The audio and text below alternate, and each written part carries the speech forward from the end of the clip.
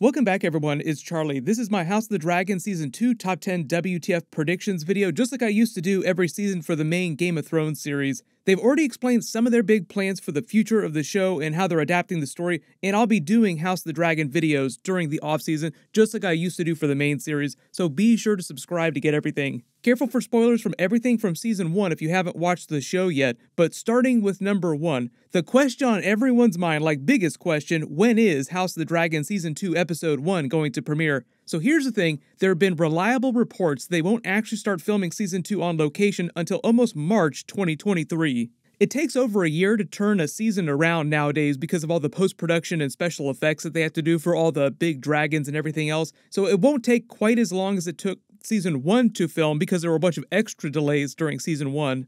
But the other big thing is the Emmys. There are all these rules about when episodes have to air. Emmys are always a big thing for the Game of Thrones series. They won so many of them. HBO loves the Emmy Awards. Based on the new rules that they have, the entire run of season 2 episodes, like season 2 episode 10, will have to finish before the Emmys cutoff date at the end of May, or the entire show won't be able to start till either June or later in the year. None of the season 2 episodes can overlap between May and June, so like the entire season has to finish before the end of May, or it will all start after May.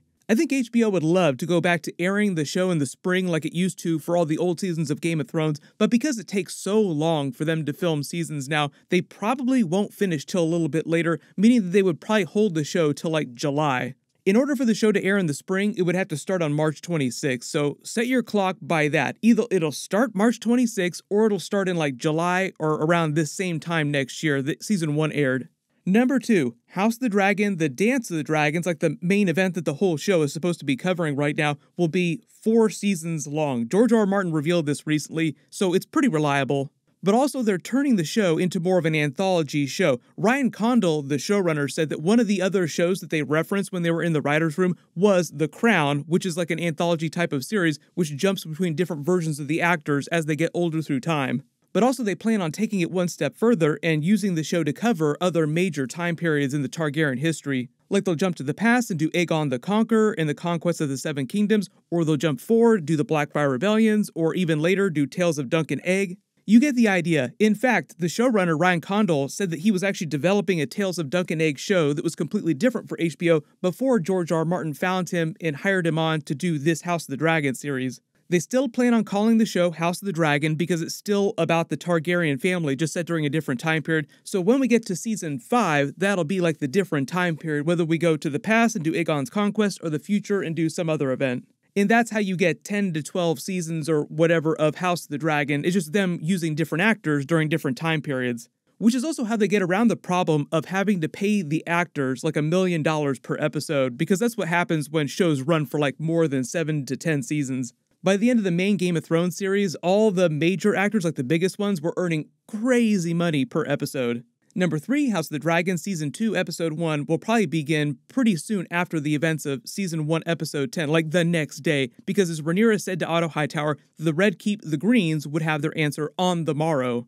They ended with that reaction shot of Rhaenyra turning around all quite all pissed off learning about Lucerys' death, so obviously their answer on the morrow will be very different from what her answer might have been before that.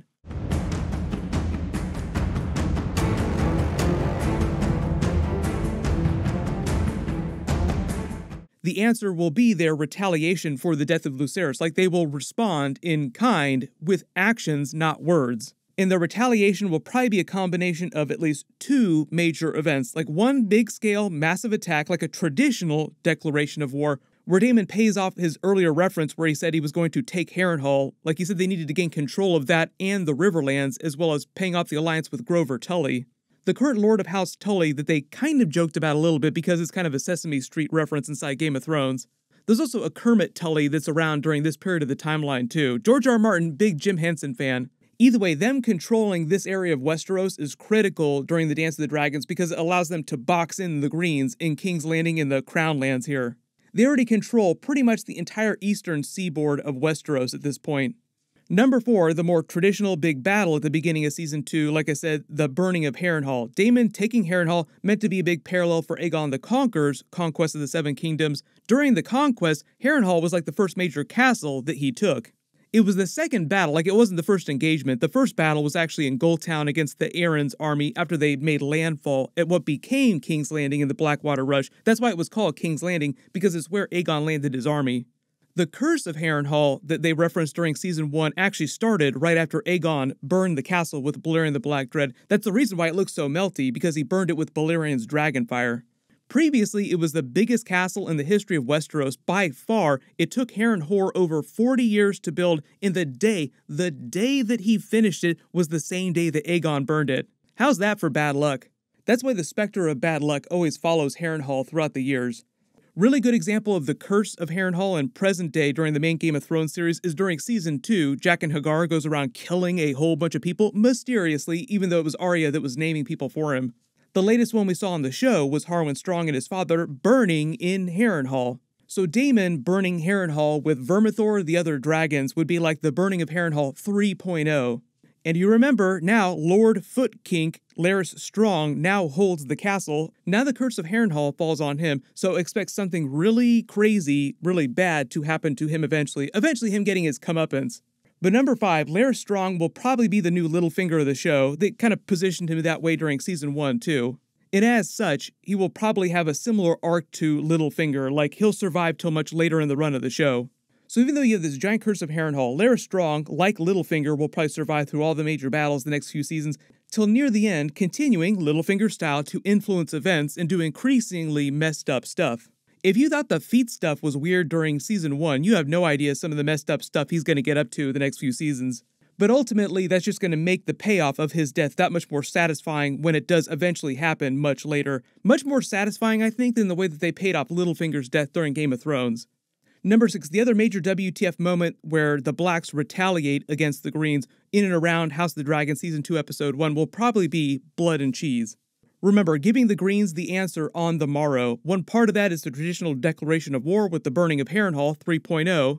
The second major one will probably be Daemon's own personal retaliation using Mysaria to hire Blood and Cheese to kill a child for a child, an eye for an eye, as payment for Lucerys' death is Aemond said to Lucerys, a debt is owed, but this time it'll be Daemon going at the Greens. Revenge killing one of the Greens' children in retaliation. So remember, a big part of the Dance of the Dragons is going to be Rhaenyra and Alicent trying to avoid atrocities like this, as much fighting as possible, and everyone around them on both sides doing the exact opposite, trying to burn the realm to the ground. The funny thing the showrunners have said about Daemon, though, is that, like, oh, you know, he doesn't want to burn the entire realm, he just wants to burn all the Greens and put all their heads on pikes and in doing that, a bunch of the realm will burn. The whole idea is that neither Alicent nor Rhaenyra can totally control what each of the people on their sides can do. Even though it seems like they have a lot of authority, they're meant to be like the most powerless people within their camps. Like Daemon will do whatever Daemon wants to do. Otto Hightower and Aemond are going to both do whatever they want to do, as well as Aegon II, who is now king and probably isn't going to spend a whole lot of time listening to what his mother says, like the second coming of Joffrey, even though technically he comes before him in the timeline. Remember, Cersei could not control Joffrey. It'll probably be a similar situation with Aegon II and Alicent. This is one of the big ideas with Alicent and Rhaenyra throughout the entire Dance of the Dragons. They want it to feel like no matter how much Alicent wins, no matter how much Rhaenyra wins, both of them always wind up losing ultimately. Like during season one, it seems like Alicent wins everything that she wants, except she ultimately loses because Lord Feet now has all this power over her. You have Daemon choking out Rhaenyra even though she's just put on Jaehaerys' crown. She's just become the Black Queen. You'd think she'd be the most powerful person in the room, but no, that's actually Daemon. I don't want to get into too many spoilers for the blood and cheese stuff, but if you've read the books, you know kind of what's going on. Eye for an eye, child for a child one of the Greens will die tragically, probably in episode 1, maybe episode 2, we'll see. Number 7, we'll see the rest of the dragons that Daemon mentioned in episode 10, starting with Vermithor, who they already teased. Daemon isn't going to change his dragon from Caraxes to Vermithor or anything like that, he was just summoning Vermithor. And the song he was singing to it was a Valyrian lullaby. He was trying to coax Vermithor out. When they zoomed the camera in on their eyeballs on the reflections, you could see his hand reaching out to touch his snout. Vermithor will probably be ridden by one of the other dragon seeds, probably Hugh Hammer, who's a Targaryen bastard born on Dragonstone. He's a normal soldier working in their army currently. The reason you didn't see him in season 1 is because they only elevate him to a more important position of dragon rider once the actual dance begins, and they need all the dragon seeds, all the dragon riders they can find for all the riderless dragons. Vermithor breathing all that flame too, like extended flame breathing sequence, probably also foreshadowing for Daemon taking him to Harrenhal with Caraxes to burn the castle. Because Vermithor is the biggest dragon in Westeros next to Vhagar right now, so he's a huge asset metaphorically and literally for them. Vermithor is a male dragon who used to be ridden by King Jaehaerys until his death. He's just been riderless on Dragonstone ever since then. Number 8, the other dragons are Vermithor's mate Silverwing. She was the dragon ridden by King Jaehaerys' wife Alysanne, who's also been riderless on Dragonstone since Alysanne died. They lost Arax when Vhagar killed Lucerys, so they're down one dragon right now, but we'll also probably see Tyraxes, baby Joffrey's newest dragon that they reference. But remember, baby Joffrey, still very small, even though he's not technically a baby anymore. Tyraxes would be even smaller than Arax, and Arax was like the smallest dragon that we've seen so far. So I don't think Joffrey is going to be doing a whole bunch of fighting during season 2. We'll see Baela's dragon Moondancer, and we'll probably see at least some, if not all, of the wild dragons. There are three of them. It's Sheepstealer, she's eventually ridden by Nettles, then there's Cannibal and Grey Ghost. There are a couple dragons that we saw during season 1 already that will come back during season 2, like Sea Smoke is a good example, Laenor Velaryon's dragon. Lots of theories about Laenor secretly coming back pretending to be a Valerian bastard, just under a different identity. Like, no, no, no, I'm not Laenor, I'm a totally different person. Maybe that'll happen towards the end of the Dance of the Dragons. There are other dragons that Daemon didn't mention that he and Rhaenyra's children, Aegon and Viserys, eventually ride, but they're still very, very small babies right now, so they probably won't claim dragons for a long time. Maybe we'll see them in the final season if they cover the later events of the show in the aftermath of the actual Dance of the Dragons. Number nine, sort of connected to that idea, the other major revelation that the showrunner and George R. R. Martin revealed, if you didn't realize it before, that there won't be any more major time jumps on the show during the Dance of the Dragons. For the most part, the rest of the Dance of the Dragons, however many more episodes that runs, will be the current actors that you see now. Right now, all the major children, like Jacaerys all the way up to Aegon II, who's technically like the oldest of that generation, are meant to be between the ages of like 17 and their early 20s. By the end of the Dance of the Dragons, they'll only be like a couple years older. In number 10, the big WTF cliffhanger at the end of season 2 will probably be either the reveal of all the dragon seeds, like in season 2, episode 10, Daemon will roll out all the dragon seeds, riding all their dragons, preparing for like the next major conflict, like let's prepare to burn them all. Or, small chance, they'll end season 2, episode 10 with Rhaenyra sacking King's Landing in a big parallel to Daenerys sacking King's Landing at the end of the main Game of Thrones series. Like season 2, episode 10 will literally end with a very similar moment to the end of Game of Thrones season 8, episode 6, except this time, this time, Rhaenyra will enter the Iron Throne room and actually sit on the Iron Throne, and they'll cut to the credits. It's not like somebody's gonna bum rush her from behind and stick her in the back before she sits on the Iron Throne. She'll sit on it, they'll cut to credits, and then we'll pick up in season 3, episode 1 with the Greens' retaliation for them sacking King's Landing because the whole idea is the end of season one is meant to be the Greens basically stealing the Iron Throne from Rhaenyra. Wouldn't it be a big payoff at the end of season two if Rhaenyra steals it back from them?